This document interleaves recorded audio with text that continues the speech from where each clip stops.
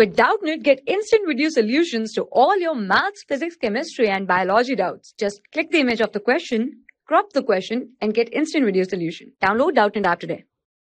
The question is one atom of an element X weighs 6 into 10 to the power minus 23 gram. Number of moles of atom in 3.6 kg of sample X will be and Na is 6 into 10 to the power 23. So gram atomic mass gram atomic mass is equal to mass of 1 mole atom multiply by mass of one atom.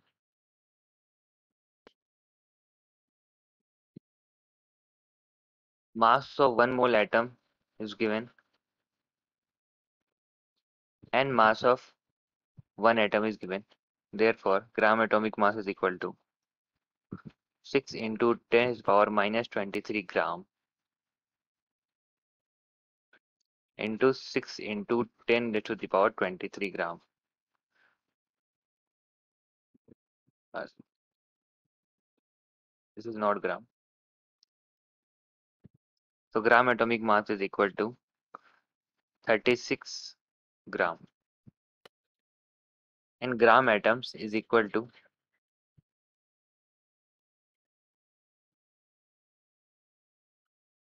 moles which is equal to mass upon given mass upon molar mass. Here given mass is 3.6 kg.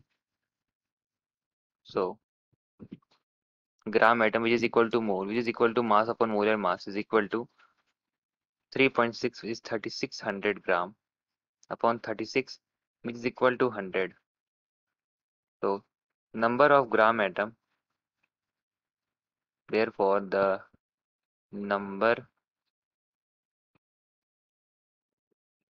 of gram atom in 3.6 kg is equal to 100 so option C is the correct answer. For class 6 to 12, IIT JEE and NEET level. Trusted by more than 5 crore students. Download Doubtnut app today.